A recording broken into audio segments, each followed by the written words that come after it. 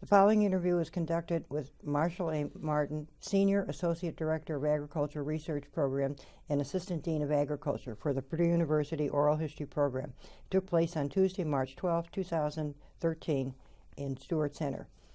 The interviewer is Katherine Markee, Professor Emerita of uh, Library Science. Good morning, Professor Martin. Thank Good morning. you so much. Tell us a little about where and when you were born and your siblings in early years. Uh, I was born in uh, Kewanee, Illinois, in Henry County, which is north of Peoria, approximately 50 miles. Grew up on the family farm there, and I have uh, one brother who's now a lawyer in uh, Texas. Okay. Uh, what was grade school like? Very unique. I was half my class for the first two years. I went to a country school. We had one teacher for four grades, and so, uh, as I jokingly say, I was the bottom half of my class. The girl was smarter. uh, and so I went two years to a country school, and then the schools actually consolidated. I went to the city school called uh, Wethersfield and, and went through high school at that school. Okay. Yeah, moving on to high school. Tell us about high school and your course of study and activities, et cetera. Well, in high school, I was actively involved in uh, the Future Farmers of America, now called FFA, and had number, a number of offices both at the local chapter and as well as at the state level, and received the Illinois State Farmer degree, which is the highest award you can get from FFA in the state. I played for three of my four years in high school in the uh, state FFA band in Chicago, in Springfield, and in Champaign, Urbana. I was actively involved in the in the, the band, concert band, marching band. I was even the uh, the assistant conductor of the high school band. Uh, I was also quite active in uh, musicals and, and, school plays. Uh, so those are my major activities. I was not involved in athletics in high school. Uh, being a farm boy, there was a lot of chores to do before and after school. So we lived a distance from the from the school, so I was not involved in athletics. But heavily involved in music and FFA were my primary activities. And I was the um, the uh, co um, uh, chair of the high school yearbook, and that took a lot of time in my senior year. I would think so. That's right. And college, you went to got your degree from Iowa State. How did you happen to select that? And tell us about college. Well, I, I did get my uh, first degree, my Bachelor of Science degree from Iowa State University. Uh, probably one because it's it's a very fine university. It uh, was well recognized then and still is today. Uh, and we had uh, a high school classmate who had gone there, and I went with him to visit the campus and really fell in love with the campus. And it had the areas I was interested in in agricultural engineering, agricultural economics. So I have a major in agricultural economics and agricultural business, and a minor in agricultural engineering from Iowa State University. Okay, what was campus like? Did you live on campus? And we did. I lived in the in the residence hall my entire time there. I was not active in any uh, sure. uh, Greek uh, fraternity. Okay. Uh, and then um, you went on for graduate work? Well, no, not immediately. What happened I, after commencement? No, uh, I was very active in the Wesley Foundation at Iowa State University, and that's where I met my wife. She was uh, a student at the time in what they then called home economics, and uh, we both had interest in international service. So my wife and I were selected as the first married couple ever in the history of the Methodist Church uh, to go overseas. With my background in agriculture and her background in home economics and particularly nutrition, uh, we went through a, a, significant screening process of medical exams, psychiatric exams, psychological exams, theological exams at a seminary, and were selected uh, by the New York World Office of the Methodist Church and so then, uh, uh, after we graduated from high school, as uh, I came home, helped my father finish planting corn, uh, we got married and left immediately for New York uh, for training, and then uh, to Costa Rica for a language school for about four months, and then on to the country of Bolivia. where we served for about four years. I taught vocational agriculture. I taught in a seminary. I worked with Heifer Project International, and I was appointed by the bishop as the director of the school. The school had 400 students. Uh, during the day, we had three uh, shifts a day. We had a morning for high school, an afternoon for the elementary, and an evening for adult education. We had a 25 acre farm for uh, teaching purposes uh, for our students. We ran a residence hall with about 125 boys and about 25 uh, girls in a separate residence hall. My wife and I served as the, uh, the, the, dorm parents, so to speak, for the girls' residence hall. I did a lot of work in rural areas in, in, in, the country of Bolivia. So then we came uh, to Purdue for the first time and did our, my graduate work here, both master's and PhD. Okay. That was a good interim. That was a busy time for you. Good, good context. Um, career path be prior to coming to Purdue? Well, as I just said, we were in, we were in South and America. You to, and you stayed on after you got your degree. Yes, we, I came to, to Purdue for graduate work, and, and I did not think I would remain on the faculty here. In fact, in the 1950s and 1960s, so I was told, many of the, the faculty hires in the Department of Agriculture Economics at Purdue, where I received my graduate degrees, had been Purdue graduates. And there was a concern by many of the more senior faculty that they were hiring too many of their own graduates. And so, since I was a Purdue uh, master's and PhD, I didn't think I even had an opportunity here. So, I frankly had been interviewing at, at Michigan State and University of Florida and Iowa State and other places and had a job offer uh, from Michigan State University to join their faculty. Uh, when Dr. Paul Farris, who just passed away here recently, uh, called me and said, Had I signed the letter to go to Michigan State? And I said, No, it's on my desk. It's a nice offer. I probably will take this offer. And he said, Could you wait a week? I said, Why? I said, Well, Dr. Don Paarlberg uh, has just uh, uh, announced that he's leaving Washington, D.C., where he was Assistant Secretary of Agriculture and had been the faculty member teaching agricultural policy at Purdue. He's going to retire. He's going to come back to West Lafayette and write some books. We have a vacancy. We'd like to interview you. And so, because of Dr. Don Paarlberg's retirement after being the Assistant Secretary of Agriculture uh, for eight years in the Nixon and Ford administrations, there was an opportunity at Purdue. I interviewed, they made me an offer that was just perfect for me. I could do teaching, research, extension, graduate work, undergraduate uh, teaching, and, can, and then later, as we'll talk about, went into uh, various uh, levels of administration. Right. And- okay. So then your initial point was teaching, and you got quite a few outstanding teaching awards. Tell us a little bit about your research focus. My first research focus initially was in the area of agricultural and trade policy. Mm-hmm. But like most new assistant professors, I was looking for my niche. What, what would be my unique contribution?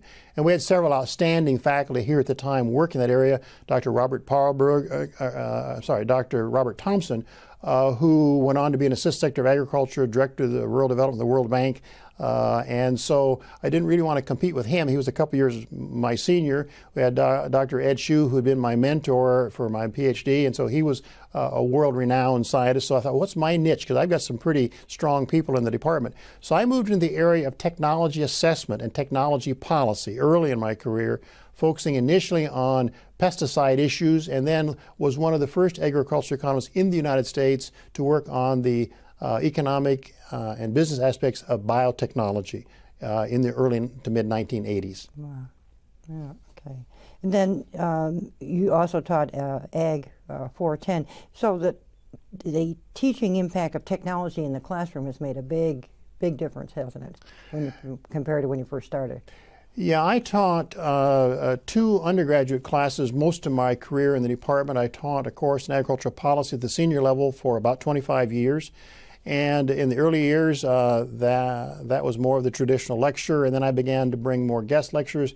I actually sat in the studios right here and did videotaping and, and also around the state with uh, uh, world recognized policy leaders. And, and so brought, brought computer into the classroom, uh, was one of the first people to use the, the, the internet uh, to have uh, lessons online and uh, wrote interactive lectures that were graphical explanations of policy. So, yes, I did try to bring technology into the classroom in the policy area. I also taught for 17 years a senior class in econometrics and price analysis. And there again, I can remember carrying what they called a portable computer. I think it weighed about 20 pounds over to University Hall from the Krannert building and hooked it up to a overhead projector with uh, a, a special attachment so I could project onto the screen the actual typing on the computer to show them how to do statistics.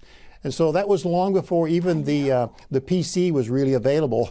Uh, so yes, I have tried to use uh, technology in, in my undergraduate as well as graduate teaching. Well, it's sort of nice to, to go in retrospect and see, you know, what you and it, it worked. But now, you know, you, you move on uh, as the as the uh, technology assessment goes on too. Well, that's right. When I first taught, I were using you know the old IBM cards.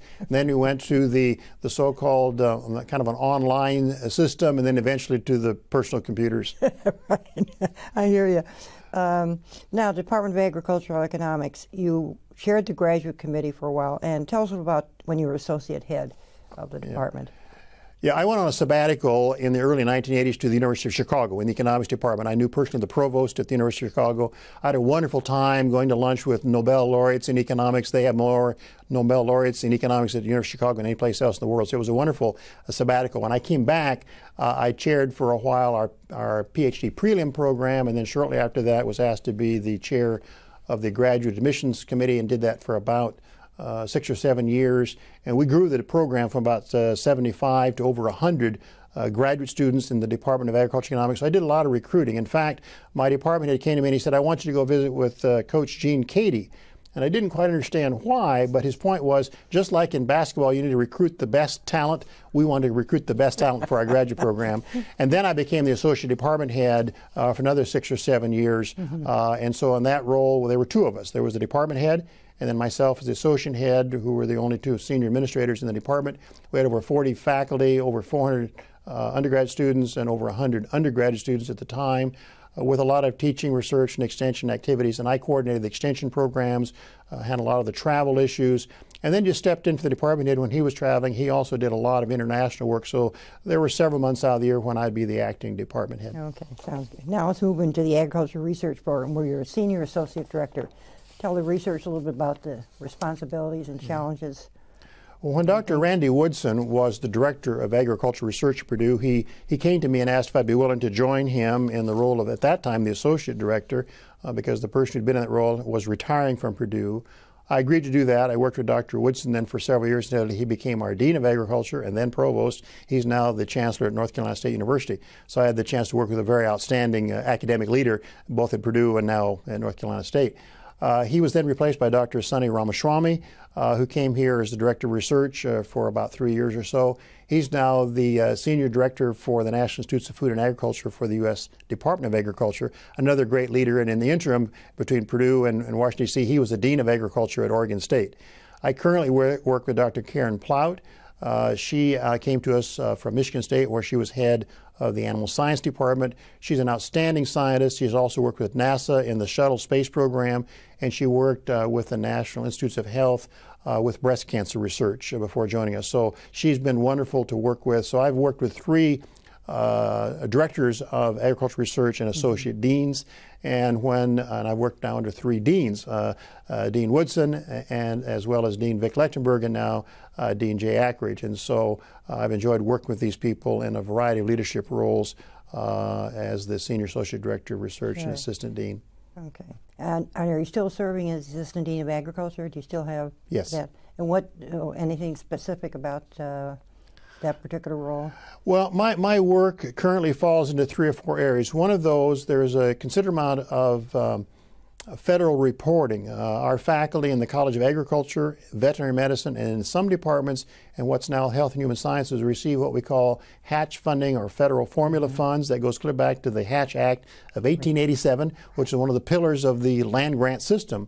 And so it's a, it's a cost share. Some of the money comes from the federal government and some from state government. Every faculty who's funded by that money has to have a five-year research plan.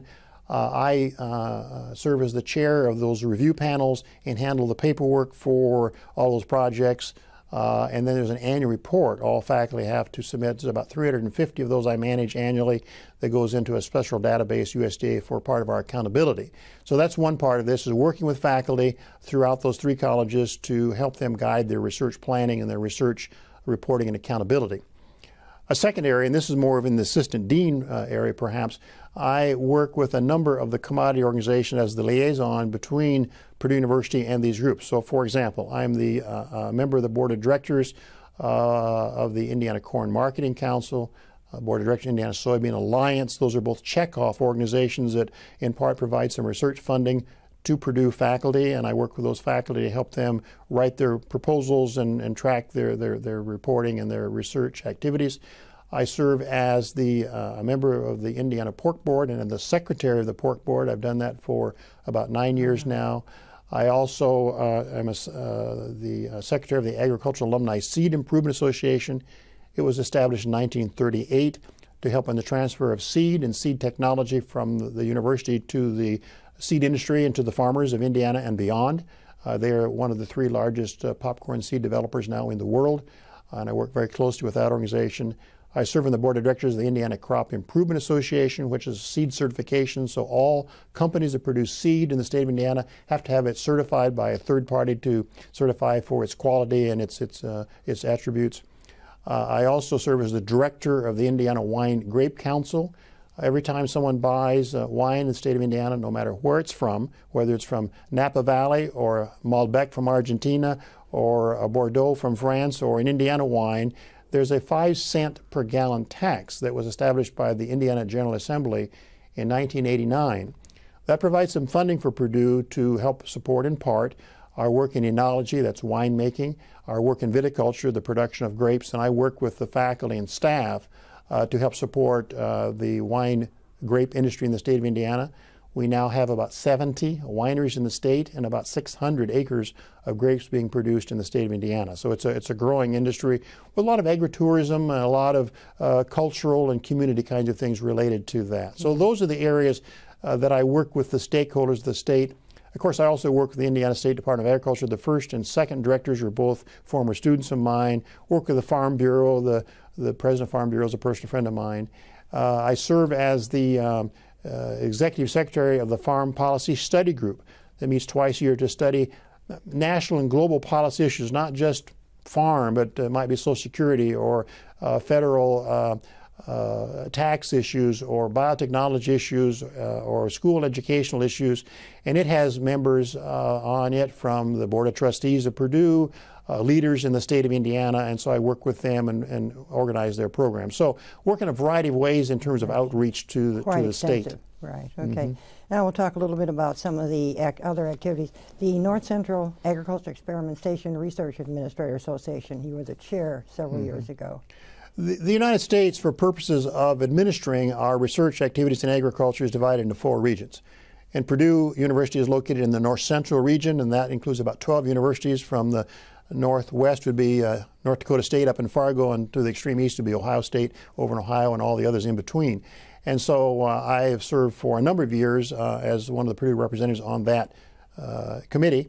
And for a period of time, I was the chair elect chair and then past chair of the directors of research for the North Central region.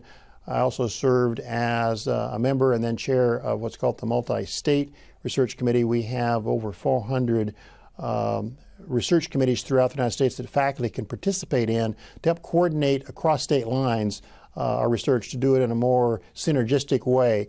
And so I've, I served as, uh, as the chair of that oversight committee. I also was appointed to serve nationally on the National Research Support Program Committee. There's a, about 1% of the federal funds for land grant universities is what we call off the top funds. They set those aside to help support the, the national research system and things that, that are very important for the support, such as in the area of um, bioinformatics for uh, the, the animal uh, genomics work, those kinds of things. Mm-hmm. So I've served in several roles at the uh, regional level, and some of those led in some national involvement as well. All right. Now, I'll talk uh, some work with your several state and national. You mentioned some of that, but you might want to highlight some of the.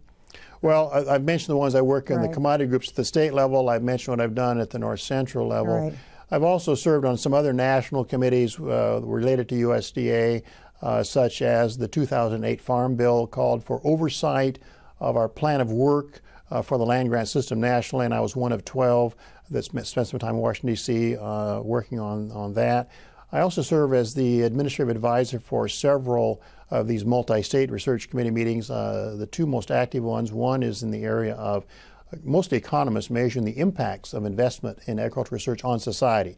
What's the payback to society for investing? And it's, it's quite high. It's 50 to 75% annual rates of return of these investments in ag research. And quite frankly, we are underinvesting in the agricultural research. And when I say agriculture, I don't mean just farms. We're talking mm-hmm. about food and nutrition and climate change and environmental impacts of agriculture, uh, as well as the production agriculture, the food processing, the food distribution, and the entire value chain, which now includes biofuels and other areas. In fact, if you think about the grand challenges facing our society globally today, they're mostly related to, to our natural resource agricultural system.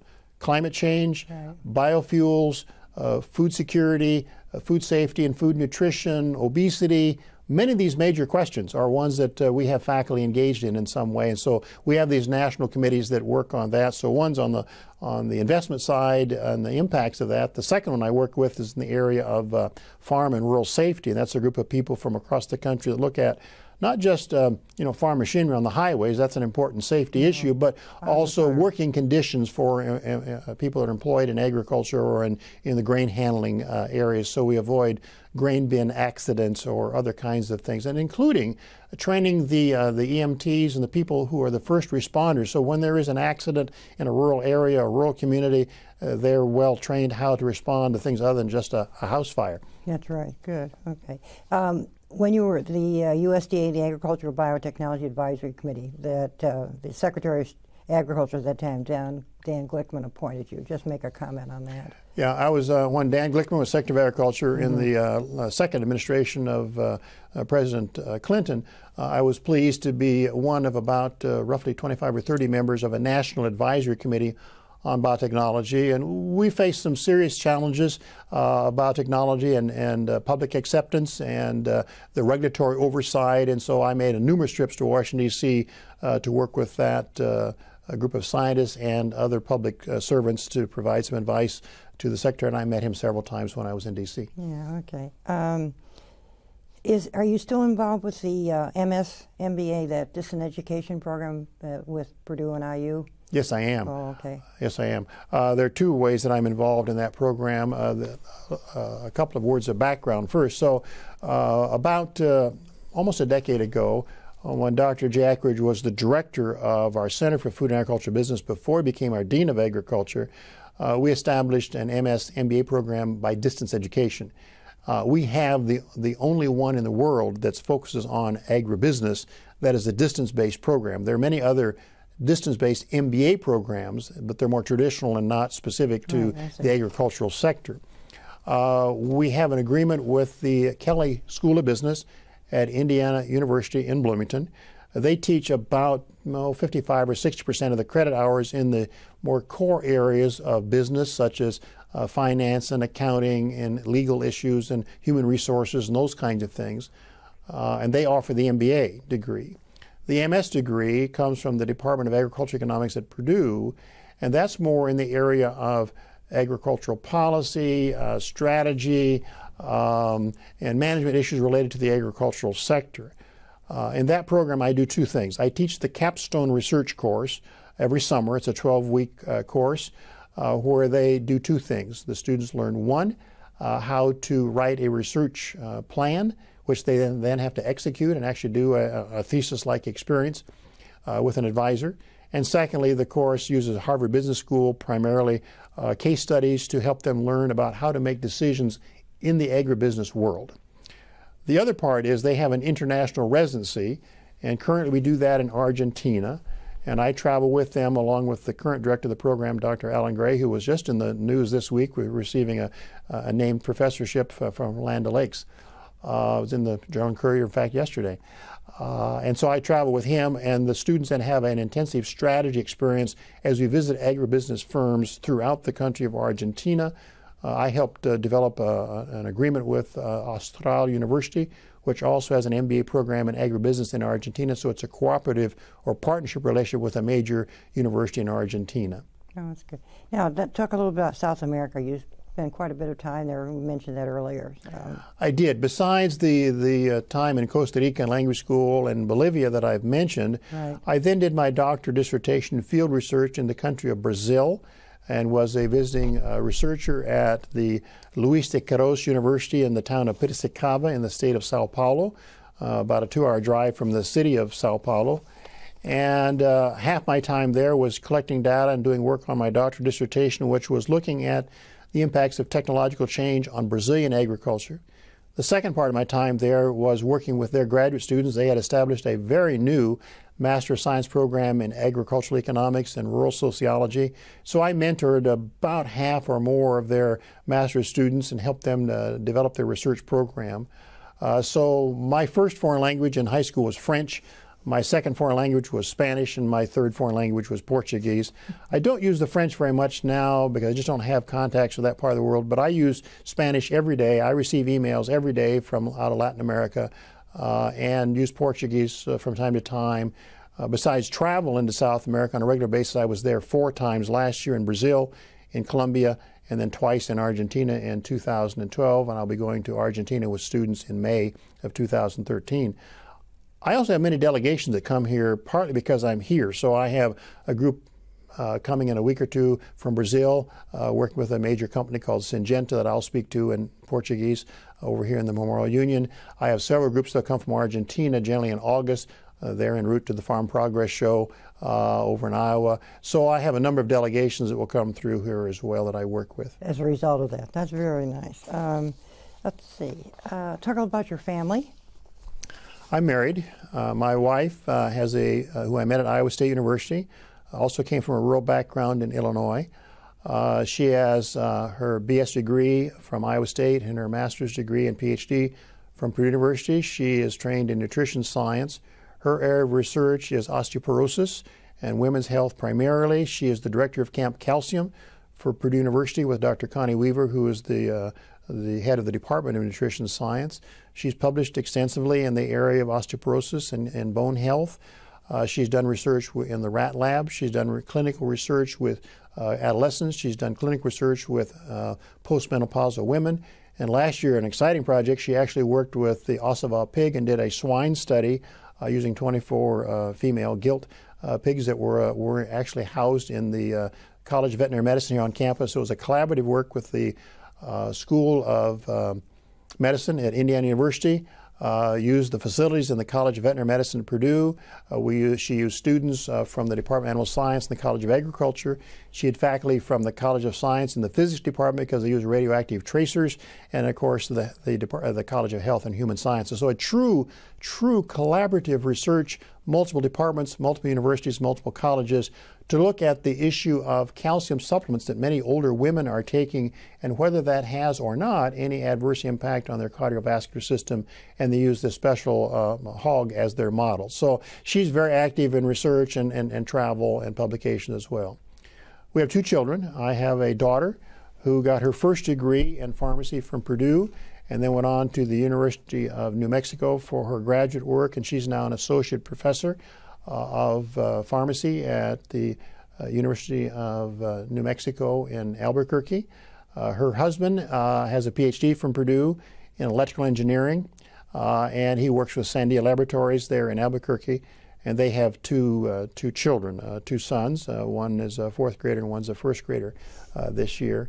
I have a son who um, went to University of Evansville and played football for them and got a minor in business as well as a, a major in biology. He came to Purdue for an MBA, uh, and he works now with uh, Procter & Gamble in Cincinnati, Ohio. Uh, he's the North American brand manager for the oral hygiene division of Procter & Gamble. That's the Crest uh, products. and uh, he's married, and his wife has her degree in um, uh, kindergarten and, and young uh, school education. They have two daughters. So one is a fourth grader and one is about uh, three years old. Uh, so that's my family, and they all have, uh, but all my daughter-in-law all have at least one Purdue degree. Sounds good. okay, uh, some awards. Um, the couple that I like to, to should mention, the Beck's Hybrid and the Special Boilermaker and the Hovde Award. I've been honored uh, uh, and, nice. and, humbled many times by various awards. The, the, the, three that you mentioned are as follows. The most recent one was the Beck Hybrid Award in 2012. Uh, the um, uh, state of Indiana has all the commodity groups come together for now a, a, major forum. They call it the Livestock, Forage, and Grain Forum. It's held at the JW Marriott in downtown Indianapolis. And they recognize four people each year from the state of Indiana who have made significant contributions to the state.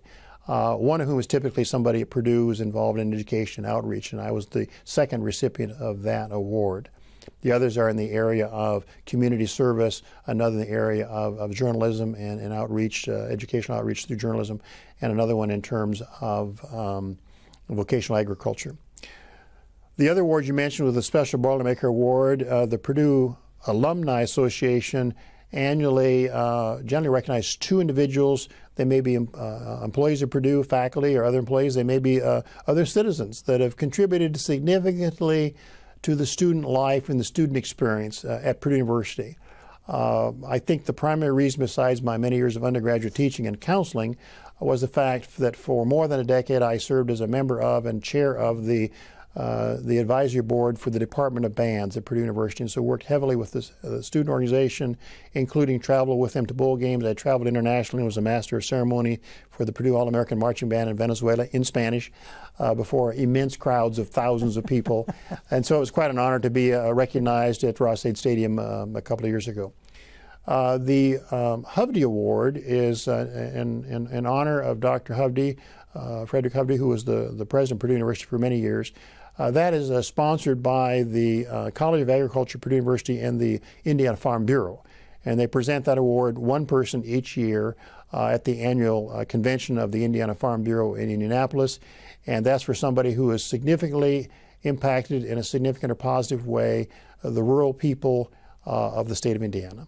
Does that, is it limited only to Purdue or, or is it open to anybody in the state? It's only in the College of Agriculture or affiliated with it. Okay, I see, already.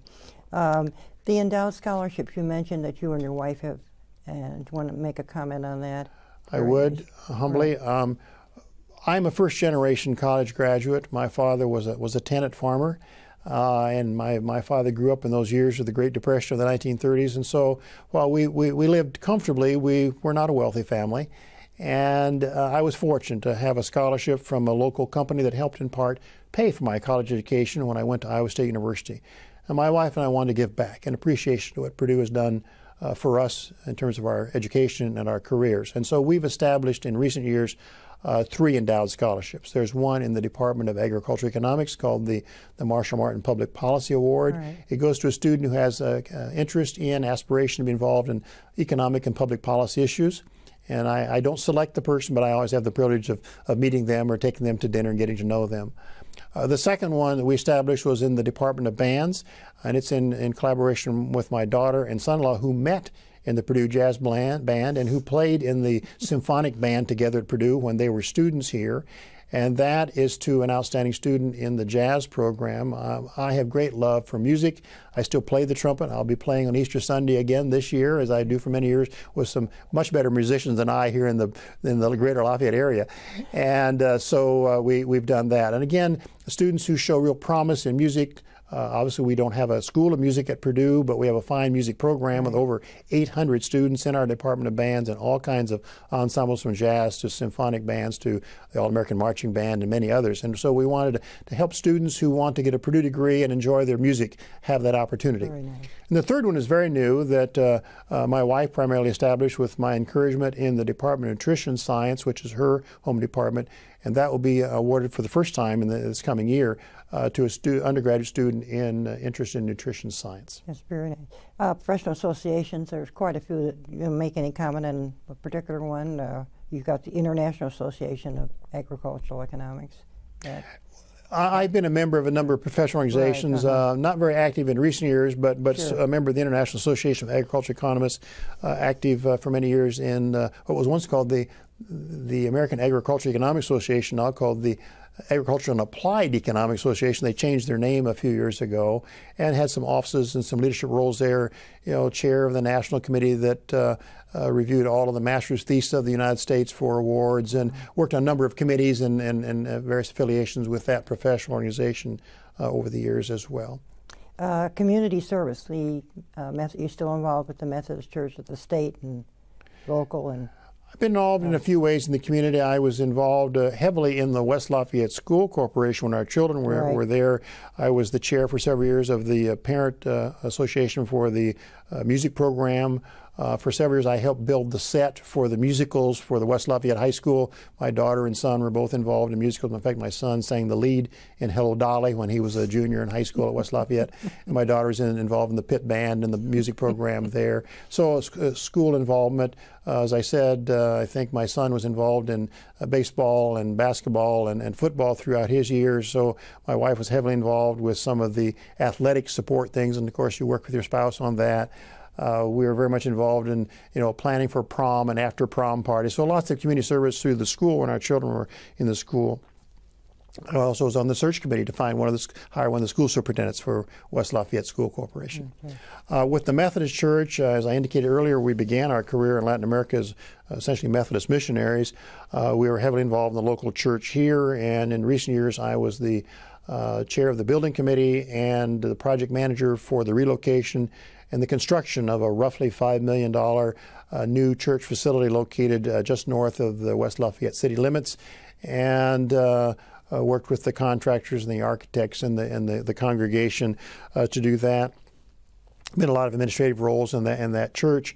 I was um, a lay preacher throughout the district uh, for many years, and for a short time was the uh, chair of the board of global ministers for the North Indiana Conference. Methodist churches involved in mission outreach programs uh, but also in a lot of practical ways. You know, I, I help them on, you know, mow the grass and take care of the grounds and do, do other special projects. I also had a lot of uh, fun the last several years uh, teaching an adult class. So we uh, are working our way through uh, through the Bible and some other kinds of things. So I do some teaching still in the in the local church. That's nice. Now some local activities, the blueberry and also the uh, the soybean and the farming in, in Clinton County. Yeah, uh, when my wife and I, mostly myself, were involved in two different farming operations. About 22 years ago, we bought some property just north of West Lafayette, and I worked with a local physician who started it, and then he uh, he moved on to uh, practice medicine elsewhere, and so I bought the property from him. So we've had uh, this U-pick blueberry farm now called Martin Acres LLC. Uh, we have literally hundreds of people from the greater Lafayette area come every summer uh, for harvesting. Uh, we are open in the evenings from 5.30 to, to 9 each evening, Monday through Friday. And we do it in the evenings in part because my wife and I are both active on campus, but also it's just hot during the day for harvesting. And, and also most people in this community are dual career, they have families, and it's just much more pleasant, convenient for them to come out in the evenings to, to do that. So I do the production work uh, on that as well as handle the sales operation. And then a few years ago, we bought some some uh, corn and soybean production land over in Clinton County, just east of uh, Lafayette, and uh, had that for a number of years. Uh, I had a master's student was doing her degree with me back in the late 1990s, and I had known her parents for a number of years. And so one day I said to her, I said, if you ever, your dad ever needs help on the farm, let me know. I'll be glad to help out. Well, she said, in fact, we do.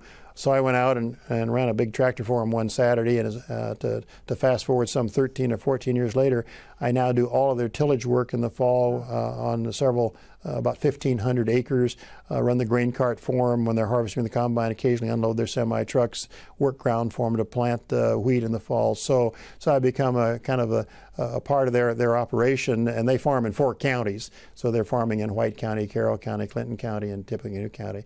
So I become quite active in the fall in particular, uh, helping out on, on, on, not only their farm, but also on the land that uh, my wife and I own in, in Clinton County. Nice and the hobbies, the collecting of the antique farm. I, I in fact have started a, another new hobby. I, my, my roots uh, are very much in agriculture, as obvious from this interview.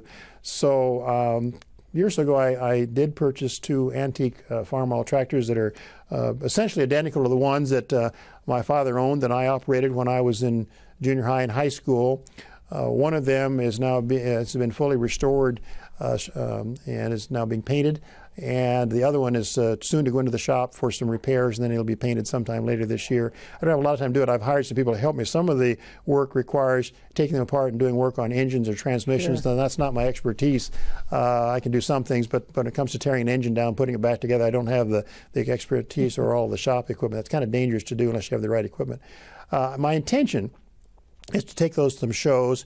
Uh, one will be probably the Tippecanoe County uh, Steam and Power Show that's in July, which is down at the uh, amphitheater here just north of uh, West Lafayette. And one of my acquaintances uh, is uh, Max Armstrong. If anyone knows the um, rural journalism, they know, probably know the name of Orion Samuelson, who for many years was the voice of agriculture for WGN radio and television. Max Armstrong was his uh, associate. He's a Purdue graduate from Princeton, Indiana, down near Evansville. He and I become friends. I was the translator for WGN Television in Argentina for Max Armstrong some years ago, and he's a tractor, uh, collector of antique tractors. So he wants me to take them to a couple of shows over in, in Illinois this summer. One near uh, Morris, Illinois, up uh, suburb Chicago, and one over um, north of Champaign Urbana at the old Rantoul uh, Air Force Base. Uh, they uh, they sort of reflect back on the uh, the original Farm Progress show some 50 plus years ago. So people bring some of their antique tractors in and have a lot of fun reminiscing about how uh, how we used to farm. Oh, that sounds good. Um, And now, in the, final thing about teaching, about between teaching, research, and administration at the department and the college level, in your own words, it's it's a it's a balance. It's uh, what you've been have experienced. You know, I'm a firm believer uh, and have tried to live uh, the land grant mission spirit. As you know, there there are three important parts to a land grant university. Clearly, the uh, the Morrill Act of 1862 established the teaching function to, to provide uh, educational opportunities for the people of the United States and beyond, um, and focus initially in agriculture and the mechanic arts, which we now call engineering. Uh, the second was the, the, Hatch Act, which established the, the, the agriculture experiment station, the research function. And then in 1914, the Smith-Lever Act that established the extension service to reach out to the, the, the, people of the state. It used to be rural people, but it's everyone now. Right. Uh, it's, it's not just the rural people. And so those three areas are the strong mission areas of our university and of the land grant system. And I have had, throughout my entire career, appointments in all three areas of teaching, research, and extension. The other kind of fourth area is the international part, and we've talked about that in this interview. And so I've, I've done that. I can do that. I've, I've lived in, in uh, uh, two different countries, and I've traveled and worked in about 25 countries. We didn't talk about my work in Egypt or India or Russia or Western Europe your, or publication of books in Europe. Uh, and so I've worked extensively in the international area uh, over my career and continue to do that. Uh, and then, then the service leadership area administration at the departmental level and now at the at the college level. So I really have been blessed uh, with living uh, throughout my career this true land grant um, uh, philosophy. Right. Anything that you would like to add or that I've neglected uh, to ask in closing? I'll leave it up to you. Well, I think one thing we forgot, I did, I an error, the high school award. Oh, yes. Uh, about three years ago, uh, my high school uh, began uh, to recognize uh, each year three or four of their graduates who've had successful careers and professions, and I was honored to be uh, one of the members of the of the inaugural right. Wethersfield High School Academic Hall of Fame. And so Wethersfield High School is located in uh, Kewanee, Illinois, and Henry County. So I had a chance to go back and, and tour the school, meet the school superintendent, some of the school board members, and and and, and was presented with an award, and then uh, shared some remarks with the community while I was back. Uh, there. And, and one of the things was really interesting. I was one of those members of the class that left the community and never returned to live there and have very few ties there now because my parents are deceased, and so uh, I, I, don't have any real close family ties in that community. But I, I, called a couple of classmates that I was going to be back in town and be recognized with an award, and I was honored that about a fourth to a third of my high school class and their spouses went to lunch with me uh, on that weekend. And, and, and, as my wife said, I can't stop being a teacher and a professor because I, I said, I want to go around the table. I'm going to ask each of you some questions about what have you done? Tell me about your life. Tell me some stories. Isn't that nice? And we had a delightful time together that weekend. Not only was I honored with the award, but a chance to, to go back and reconnect with right. classmates and, and, and friends in the community and learn about what, what they had done with their lives. That's very good. Any uh, anything in closing, or do you think we've covered? I just thank you very much. It's, it's a pleasure to, to, to, visit with you today and share a few things about about my life with, with, with Purdue and this community. So I thank my, you. My pleasure, and I appreciate that very much. Thank you thank you. much.